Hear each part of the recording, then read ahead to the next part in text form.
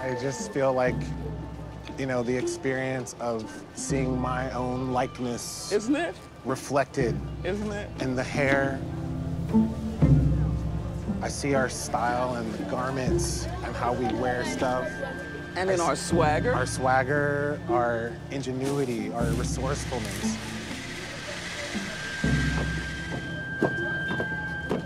I mean, obviously it's enormous, but there does seem to be some kind of order. Oh no, there's absolutely order. Yeah. And the thing that's interesting is just seeing how many different things are actually sold. Right.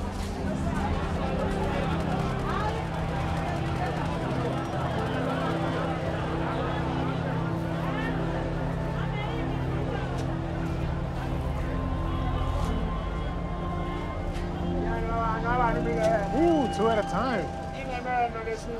Ah,